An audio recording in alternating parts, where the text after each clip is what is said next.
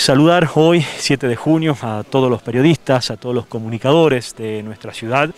aquellos que son parte fundamental del sistema democrático. Yo decía recién en mi discurso la importancia del rol que cumplen en, en, este proceso electoral, dando a conocer los candidatos, los proyectos, las ideas, de dónde viene cada uno, a fin de que el ciudadano, el vecino, pueda ejercer libremente el derecho al voto. Ejercer libremente el derecho al voto implica conocer.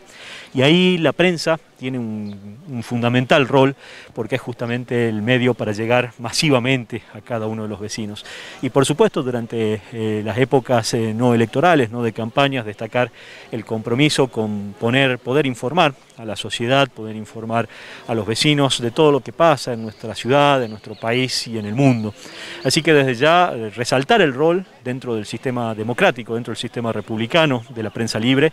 y como decía Mariano Moreno, es fundamental que los pueblos conozcan sus derechos, conozcan su, sus obligaciones, lo que pueden,